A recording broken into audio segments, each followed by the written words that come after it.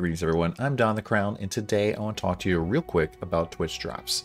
So tomorrow, uh, Thursday, January 7th, Path of Exile is going to be announcing its 3.13 league. It's going to be really exciting because they're going to be announcing it live on Twitch for the very first time ever, and this means that they're going to be doing Twitch drops. Now, if you know what Twitch drops already are, basically if you have a game account and a Twitch account, you can win stuff for the game by watching the game on Twitch. In this case, you'll be able to watch any stream you want at all, whether it's the official, whether it's mine, uh, whether it's your favorite streamer, whoever it is, you're able to win the Magma Wings. Now, these have already been in the store now for a while.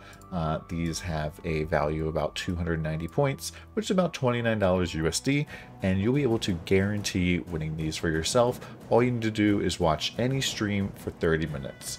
And you can see more information here on this page.